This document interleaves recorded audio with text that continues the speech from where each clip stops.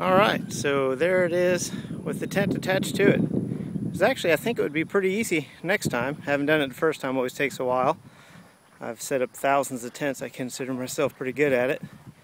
It took me about 20 minutes. Um, but now having done it and see how they have it set up, I think this could be easily done in 10 minutes or so at the campground. I would say for the first time, um, give yourself give yourself a half hour just to check everything out and go through it and see where things go and what the deal is.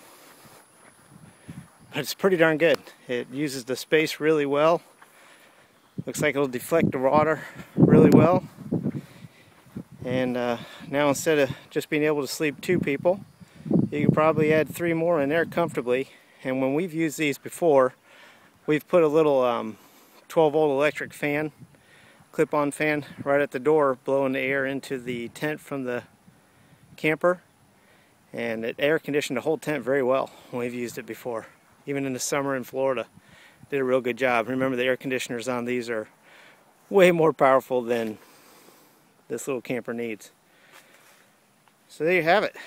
Add-on room for your teardrop camper. And uh, this is a used one. We're only asking 3500 bucks for the whole deal. Tent solar panel deep cycle battery, diamond plate toolbox, sleeps two very comfortably. Air conditioning and even a remote control for the air conditioning.